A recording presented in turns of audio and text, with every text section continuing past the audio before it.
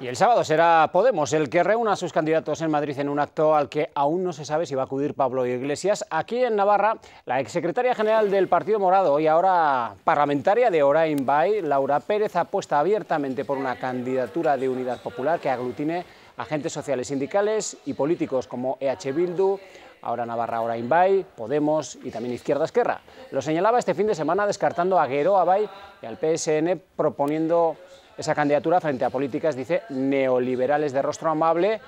y la vuelta a la derecha.